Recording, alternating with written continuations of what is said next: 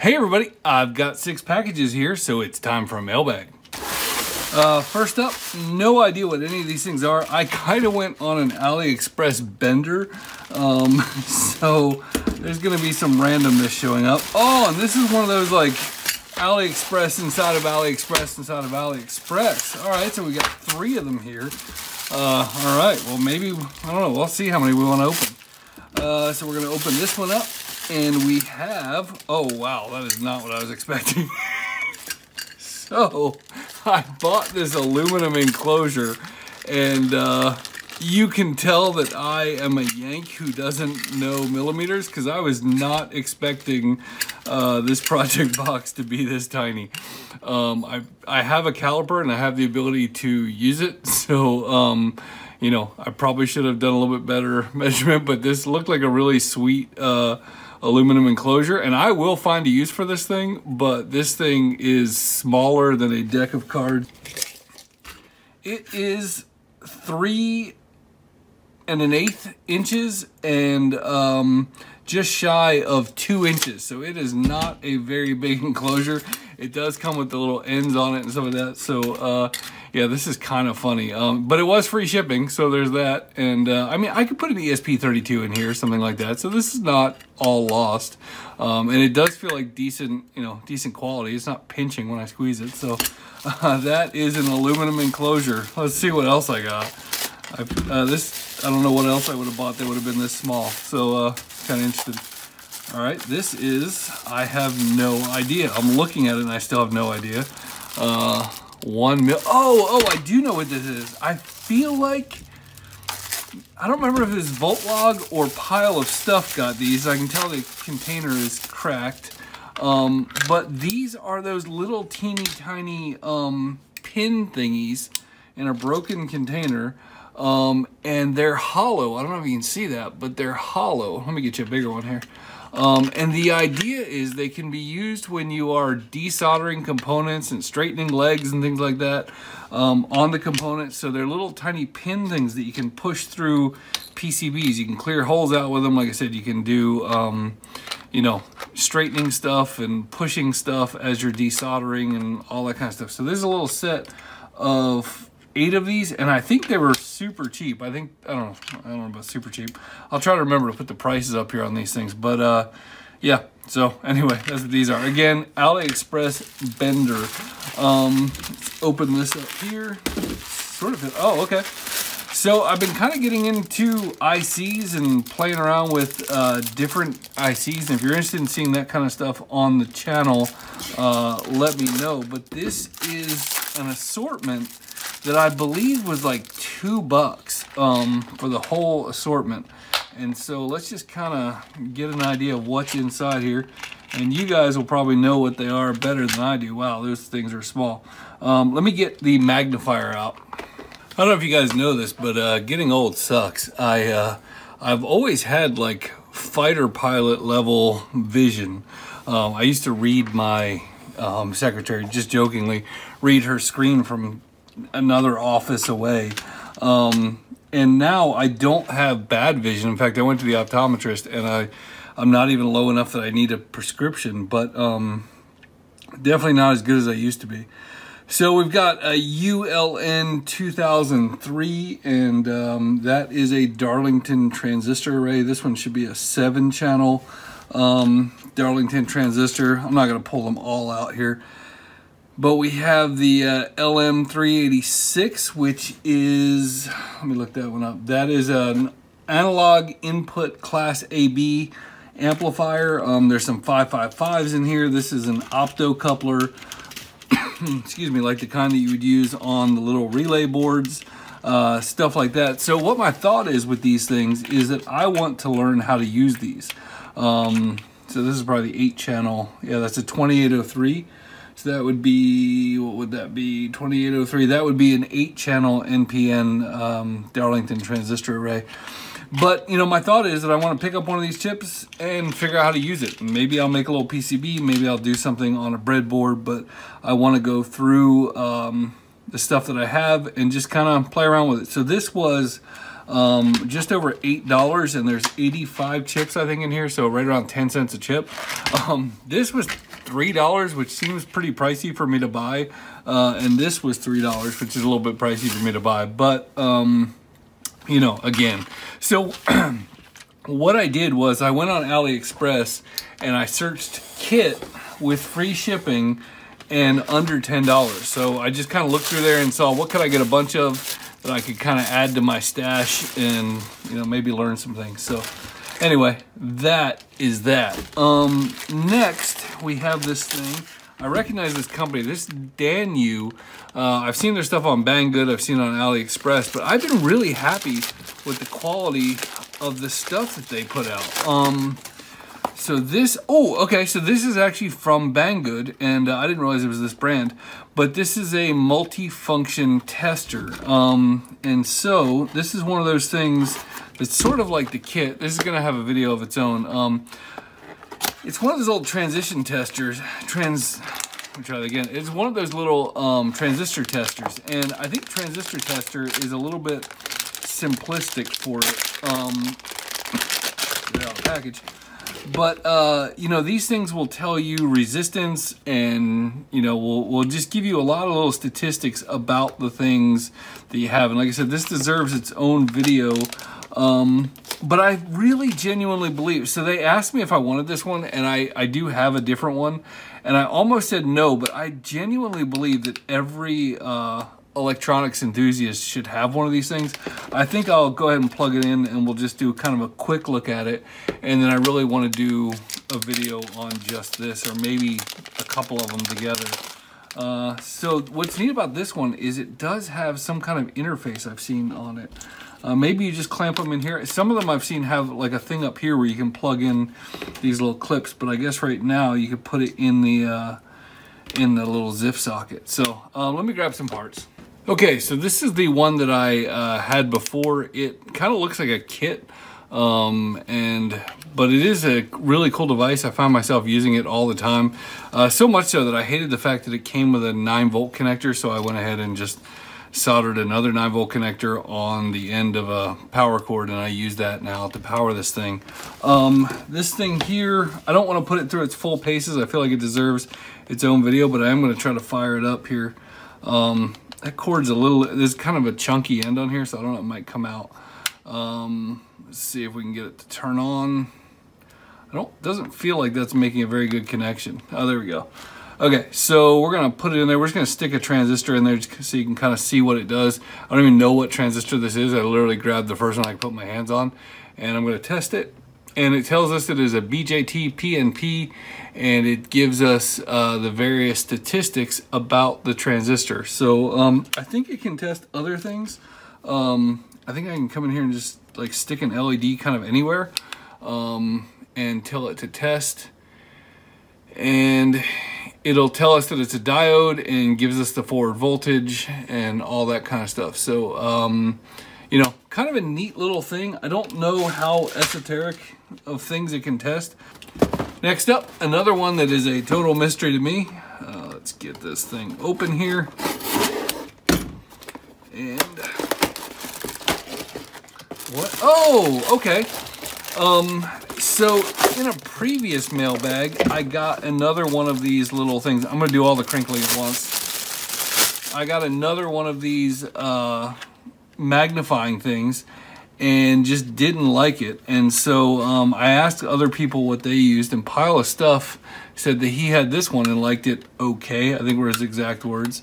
Um, so, oh, there we go. Okay. Uh, I sort of, again, as somebody with really good eyes, I don't like um, not being able to see everything. So when I put on any kind of glasses, I'm not used to having the same, you know, vision that isn't consistent. So I sort of wanted something that would kind of trap my eyes in, uh, you know, and sort of shade out anything that wasn't uh, being magnified. I thought that might help with some of the distraction. Does not come with the two AAA batteries. Uh, this is going to take a little bit of doing on my part to see uh, if I like it. I do have a video where I'm getting ready to look at a whole bunch of electronics components, so I'll probably be testing that in this video. But this was about $12 from eBay, and uh, Pile of Stuff gave it the okay thumbs up. Actually flying through this stuff a little faster than I expected to be. Um, let's open up this one, and we have, oh, sweet, okay. So, um, as many of you know, and many of you don't care, I have been uh, getting into retro computing. And uh, one of the devices I have, I opened it up in a previous mailbag, is a um, is this thing called an XT IDE, and I'm gonna go ahead and grab it. If you are into retro computing at all, um, you want this thing, and I suggest you get the one that has this little um, bracket on here because I've seen people put them in backwards and kill them. Uh, but this thing will basically allow you to, to hook up an IDE hard drive to any old computer. And it comes with, this one came with a, a compact flash card that is um, already had DOS on it, which was super handy. So uh, basically you can have this as a hard drive and you can boot off of this. You can also hook up a regular IDE drive or two of them if you don't have the card plugged in. Uh, I'm not going to get all into the nerdiness of that, but if you if you know, then you know, and you want this. Now, these were relatively cheap. It's kind of hard to find these smaller uh, compact flash cards. For those of you that don't know, compact flash is actually based on the IDE standard. Um, so that's what makes it really good for using in retro things and stuff like that because they're basically, there's not a whole lot of conversion going on. So um, anyway, I got a couple of compact flash cards so that I can have different operating systems, different kinds of software on these things, and uh, we'll see. I don't know if these are any good, but they were like three bucks a piece, so happy to have them. Next up, uh, let's see, feels like there's something all the way to the edge there. Uh, so we're gonna slice it open, see what we got. IC straightener. Okay, so this um, is cool, but I've got something better coming. Uh, so this is an IC straightener. I've had uh, I had some chips that were a little bit bent up, and um, I think they can do both kinds. Yeah. So I had some chips that were bent up, and in fact, I saw a bent up chip in this thing here.